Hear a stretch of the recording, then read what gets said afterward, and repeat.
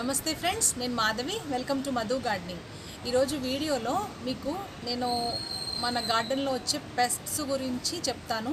ఇంకా దానికి ప్రివెన్షన్ ఏంటి అలాగే వచ్చిన తర్వాత దానికి ఎలాంటి పెస్ట్ కంట్రోల్ వాడాలి ఆర్గానిక్ పద్ధతుల్లో అన్నది నేను మీకు ఈరోజు వీడియోలో చూపిస్తాను. చూసారా? ఈ బెండ మొక్క చూడడానికి బాగానే ఉంది. కానీ చిగురు దగ్గర చూసేసరికి మనకి మిల్లీ బగ్స్ కనపడుతుంది. దీన్ని పిండి నల్లి అని కూడా అంటారు. మన గార్డెన్లో ఎక్కువ ఈ మిల్లీ బగ్స్ ఇంకా ఎఫెక్ట్స్ తొందరగా అటాక్ అవుతాయి చిగుళ్ళ దగ్గర. ఇవి చామంతి మొక్కలు చుక్కుళ్ళు బెండకాయ ఇలా వీటికి తొందరగా అటాక్ అవుతాయి. ఇవి చాలా గుంపులు గుంపులుగా ఉంటాయి. ఇవి మనం ఈరోజు వీటికి ఏమన్నా మందు కొడదాం రేపు కొడదాం అని కొద్దిగా డిలే చేస్తే మాత్రం మనకి మొక్క అంతా చాలా ఫాస్ట్గా స్ప్రెడ్ అయిపోతుంది. అలాగే ఒక మొక్క నుండి ఇంకొక మొక్కకు కూడా తొందరగా స్ప్రెడ్ అవుతుంది. ఇవి ఉన్నాయా లేవా అని మనం ఎలా తెలుసుకోవాలంటే ఆకులు కలర్ చేంజ్ అయిపోతుంది. ఇంకా అలాగే ఆకులు ముడత పడుతుందన్నమాట. ఆకు కింద ఒకసారి లేపి చూస్తే దాని కింద కంపల్సరీ ఈ ఎఫిడ్స్ మనం చూస్తాం. ఇంకోటి ఇవి ఇంకో విధంగా మనం కనుక్కోవచ్చు. ఎలాగంటే చీమలు. ఏదన్నా మొక్క మీద చీమ పాకుతుంది అని మనం చూస్తే మాత్రం అక్కడ కంపల్సరీ మిల్లీబగ్స్ కానీ ఎఫిడ్స్ కానీ ఉంటాయి. ఇవి తొందరగా ఒక మొక్క నుండి ఇంకో మొక్కకు కూడా స్ప్రెడ్ చేస్తాయి కాబట్టి మనం తొందరగా వీటిని కంట్రోల్ చేసుకోవాలి. అందుకనే ఇవి వచ్చిన తర్వాత బాధపడే కన్నా ముందే ప్రివెన్షన్గా మనం ఎవ్రీ ఫిఫ్టీన్ డేస్కి ఒకసారి నీమ్ ఆయిల్ స్ప్రే చేసుకుంటే ఇలాంటివి మనం చాలా కంట్రోల్ చేసుకోవచ్చు.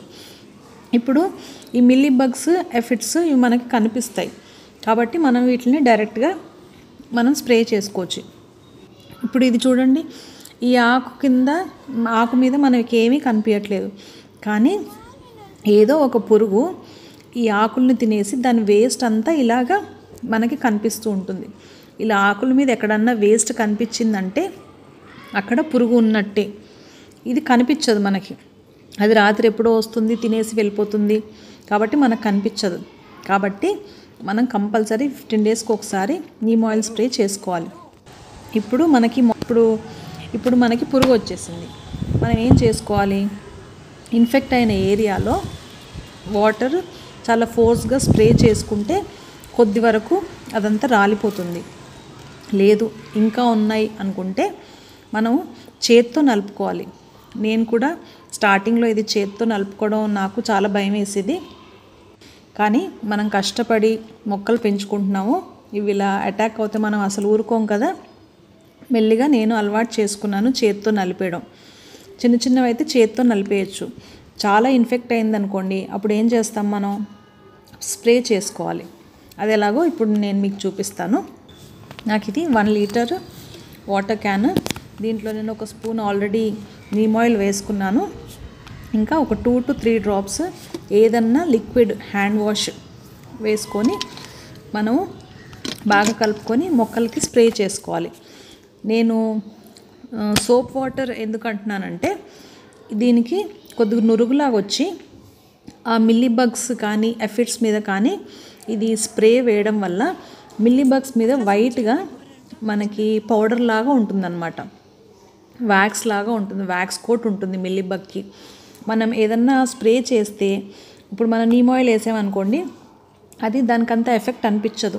అందుకని మనం ఇట్లా ఏదైనా లిక్విడ్ వేసుకుంటే అది ఆ వ్యాక్స్ కోట్ని తీసేసి డైరెక్ట్గా దాని బాడీ మీద ఎఫెక్ట్ అయ్యి దానికి ఇరిటేట్ అయ్యి అది చనిపోతుంది.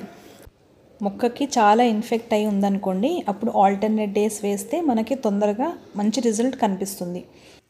మీకు అప్డేటెడ్ వీడియో పెడుతున్నానండి. ఇది నెక్స్ట్ డే నేను వీడియో తీశాను. చూడండి మ్యాక్సిమం నాకు మిల్లీ బగ్ ఇంకా అఫిడ్ మొత్తం నాకు మొత్తం పోయింది. చూడండి మీరే. ఇలా కొద్దిగా ఉన్నప్పుడే మనము స్ప్రే చేసేసుకుంటే తొందరగా మనకి ప్రాబ్లం సాల్వ్ అయిపోతుంది. కొంచెం డిలే చేసామనుకోండి అది చాలా తొందరగా స్ప్రెడ్ అయిపోతుంది. ఇది కూడా నాకు ఎఫిడ్స్ చనిపోయాయి. మనం సోప్ వాటర్ కలిపాం కాబట్టి ఇది ఇలాగా అతుక్కొనే ఉన్నాయి. మళ్ళీ వాటర్తో స్ప్రే చేస్తే ఇదంతా పోతుంది. చూశారు కదా ఎంత ఈజీగా మన గార్డెన్లో అఫిడ్స్ మిల్లీ బగ్స్ని ఎలా కంట్రోల్ చేసుకోవచ్చో. మీ గార్డెన్లో కూడా ఇలా ఏమన్నా పురుగులు అటాక్ అవుతే ఇలా స్ప్రే చేసుకోండి. ఇది మంచి రిజల్ట్ వస్తుంది. మీరే చూస్తున్నారు. ఓకేనా అండి? నా ఛానల్ మీకు నచ్చినట్టయితే లైక్ చేయండి. ఇంకా ఇంతవరకు సబ్స్క్రైబ్ చేయకపోతే సబ్స్క్రైబ్ చేసుకోండి. Thank you.